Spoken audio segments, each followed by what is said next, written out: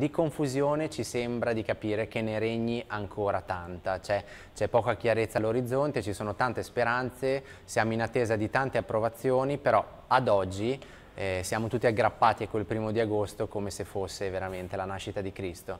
Tu Marino, cosa, so, una tua impressione, cosa ci vuoi dire in merito? Stiamo lavorando, stiamo programmando, il calendario internazionale è stato approvato perché i mondiali sono stati inseriti, i campionati europei l'altro giorno li hanno inseriti in Francia l'UE, il tour dell'avvenire è stato confermato, quindi i nostri appuntamenti primari ci sono, quindi giustamente dobbiamo cercare di iniziare a lavorare per questi ragazzi.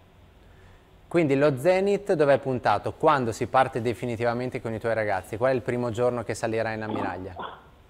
Ah, io il primo, giro, il primo, giorno stiamo programmando, sai bene, lì in Romagna questo, queste gare di multidisciplina e abbiamo inserito anche, sperando sempre che queste gare partano, perché purtroppo ancora oggi non c'è nulla di chiaro, però eh, dal lato organizzativo la nuova Pazzi di, certo. di Marco Salleri sono molto avanti su, su, ogni, su, ogni, punto e quindi manca solamente i dettagli, il dettaglio che poi è la cosa più importante, il nulla osta per poter fare le corse.